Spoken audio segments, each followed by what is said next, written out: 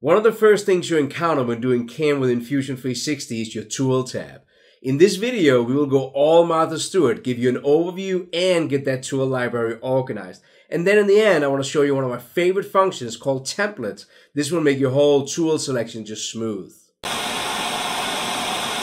Hi everybody, my name is Lars Christensen and thank you so much for taking the time to watch this video. So today we're going to talk about the tool library when doing CAM within Fusion 360. So I want to give you an overview and I also want to kind of like show you how I suggest that you're using this. Now before we get to it, as always, I love your comments and suggestions down in the comment area. I know many people read them and I can assure you that I read them all. But let's jump into the software here and attack this tool library. So the first place you normally encounter the tool library is when you go in and create a toolpath. So if I go up here and select the facing operation, the first tab is always your tool. And when you go in and hit select tool, you will get the tool library displayed like you see on the screen here. Now there is actually another way to get to this same screen. And it maybe makes a little bit more sense now where we are going to encounter or talk about the tool library. So let me just cancel out of this cancel out of my operation. Right up here, you have also a button for the tool library. So the way I'm picturing this is the tool library is kind of like the toolbox you have out on the shop floor with your different drills, end mills, and so forth. So let me just give you a quick overview over the tool library here. Now, starting up in the upper left, you can have a button up here where you can hide or show this library tree. And I definitely prefer to always have it open. I'm going to come back to this in a few minutes. Next, you can import a tool library. You can export a tool library. You can duplicate a tool library, so kind of like make a copy of it. You can create a brand new tool library. You can delete a tool library. And then we're kind of like jumping over to the section here where we can create a new tool, a new tool holder, a turning tool. We can edit the tools we can renumber the tools and we can delete the tools. And we're gonna kind of like get into some of these different things as we're going through here. Then down the bottom, we kind of like this whole area here is like what I call our working space. And then over here, we have kind of like a display of our tools. So let's start by talking about libraries. I think this is the most important thing to kind of like get a grasp on. So you have here something called documents. And if I just hit the the little triangle next to it to expand it. This is where your document files are stored. Now I'm going to come back to this in a second. Then you have a bunch of samples that comes with Fusion 360. You have some vendors who have also imported their material into Fusion. And then you have something called local. Now let's start from the top and work through these. So like I said before, documents this is where you have your files that you're working on. So right now you will see we have two different files in here. There's a machining setup and there's an Xbox controller. The reason you see two is because I have two files open right now. So let me just X out of the tool library. You will see here's the machining setup. That's the one we see on the screen right now. And if I click over here, you will see that here is an Xbox controller. Now I'm going to use this one when I show you the cool functions inside of templates. So it is important to remember that your tools are associated with your Fusion model. What this means is that if I program a part and I use all different kinds of tools and I send you the file, all those tools will come with the file.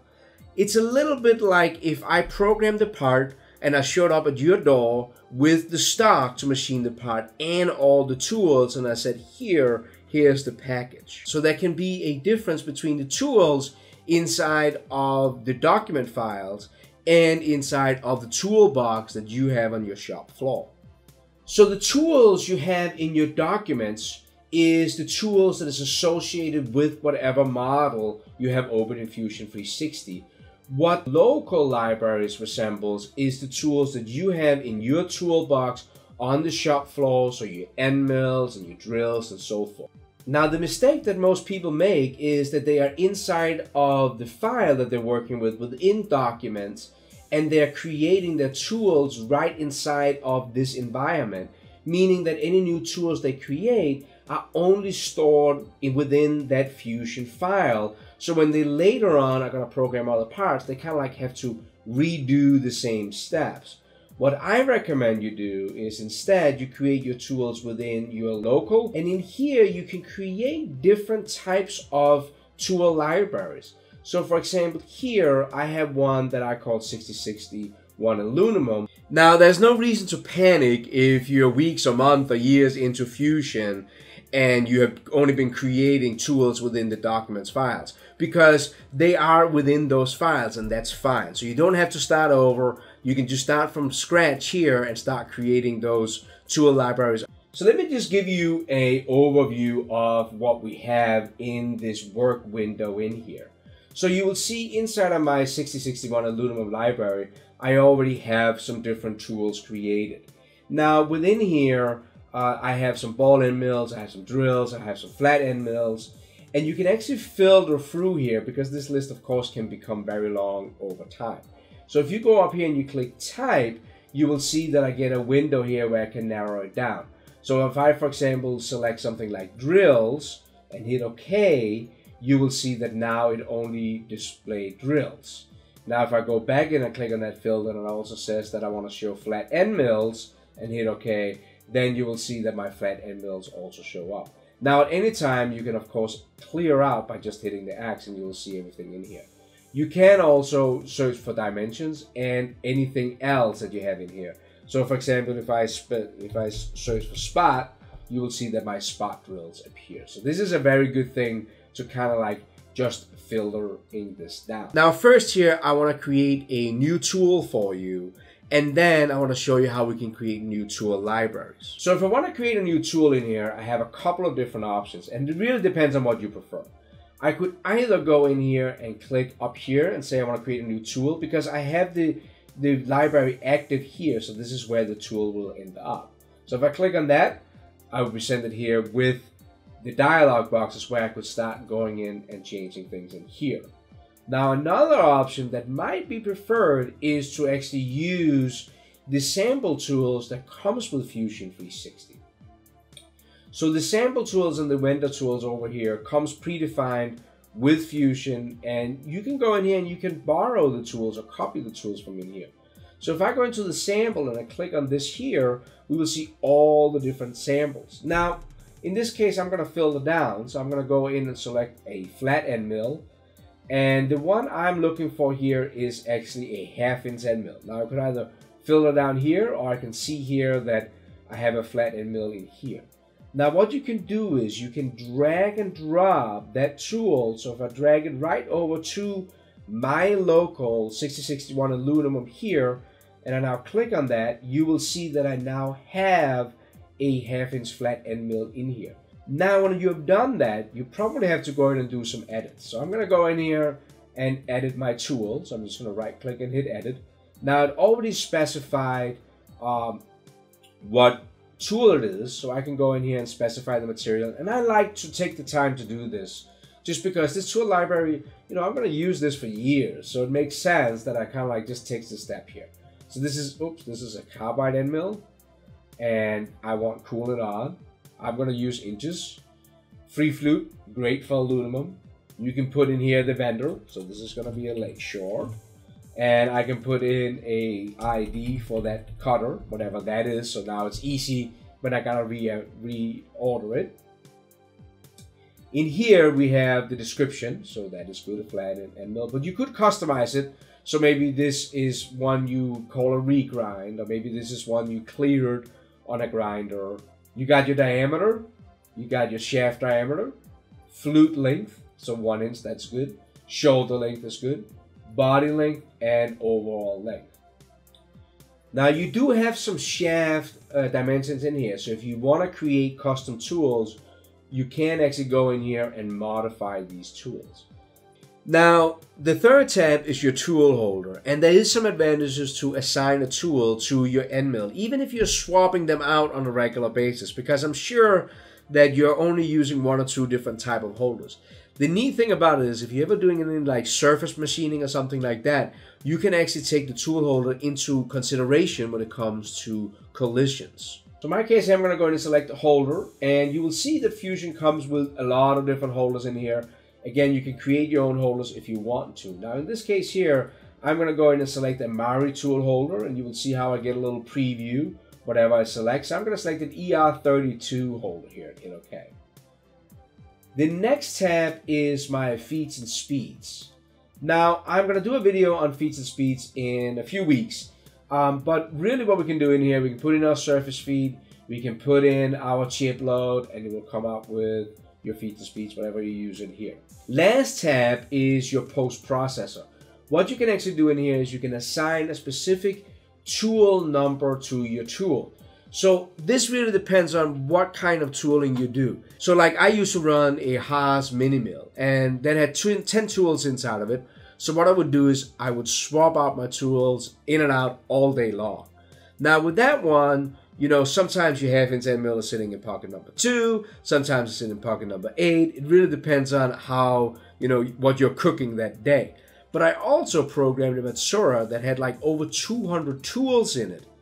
Over 200 tools in the tool carousel. Now at this point, you don't swap tools in and out. When a tool goes in, it stays in. So it's really nice that you can assign a specific tool number for that specific tool. And you can do that right here in the last tab. You can also in here turn on if you want to do manual tool chains so that many of you guys you know need that function so we'll come up with an M01. Or if you have a something like a Renishaw probe on your machine where you want to ch uh, check for tool breakage. I'm going to go ahead and hit OK. So now I've just added a half inch end mill free flute for aluminum in my 6061 aluminum library. So this is the toolbox that is sitting out on the shop floor where I'm going to go and grab my cutter for my job. So let me show you how this works in action.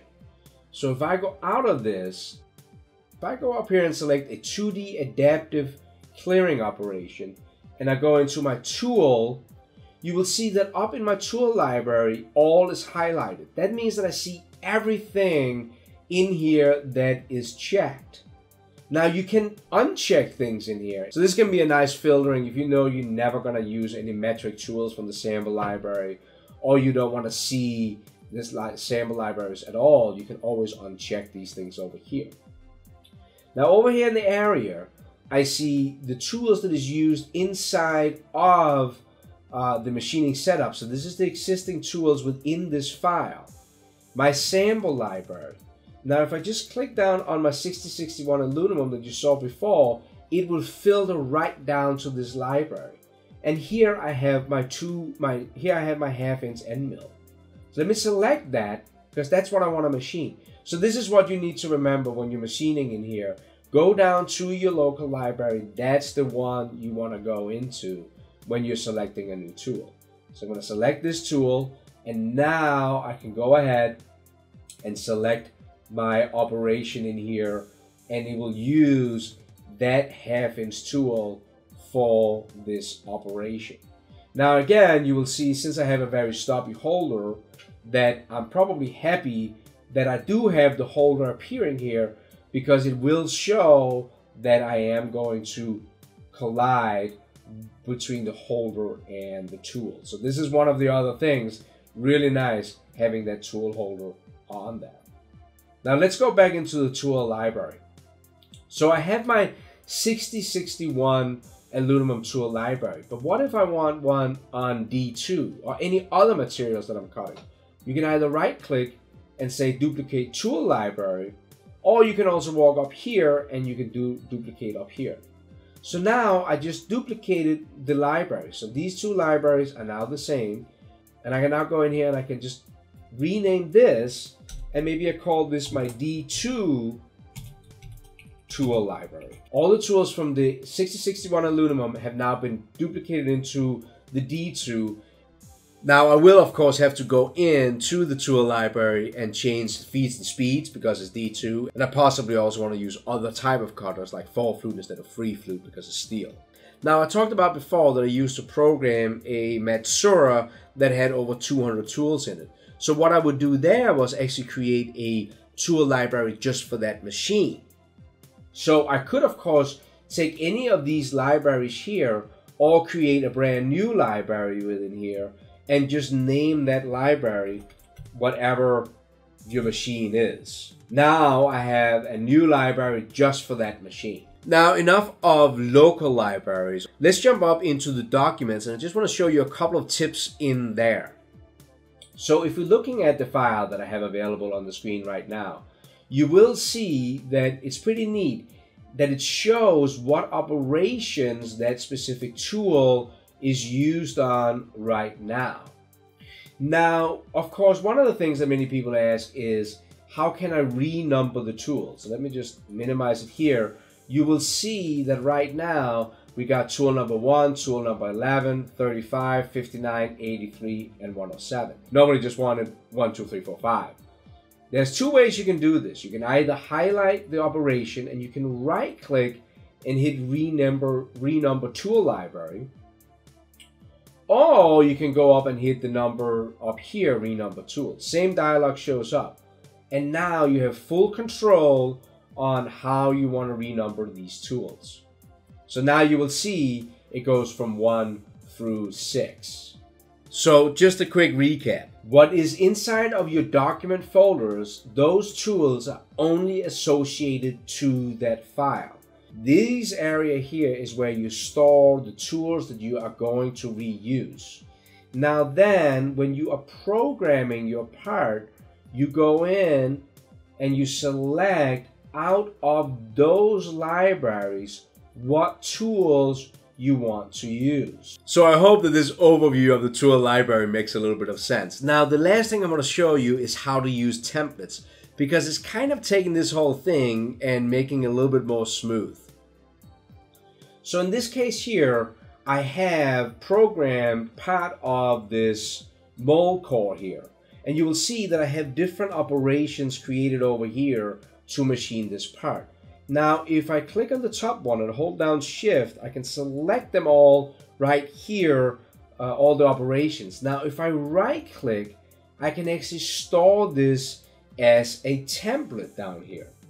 Now, what happens when you store as a template is you're capturing all the tools, feeds and speeds, step overs, lead in, lead out. Everything is stored inside of this template. So what I can do now is if I go to another file for example, this Xbox controller, I right click on the setup, I can now go in and say create for templates and you will see here I have Lars's 3D milling. So now what I have in here is all the different operations that I copied all those settings from. So now I can go in here, for, for example, the parallel toolpath. I can go and I can edit it. It already had that end mill that I used on my other part, so I know the feeds and speeds and the step overs are good and maybe all I have to do here is going in and selecting some geometry that I want to machine within like this. So go and get your tool library set up. Make sure that that's from where you're picking your tools, not the document files. And then start using templates. It's a really neat way to capture all the intelligence that you have already figured out out of the machine.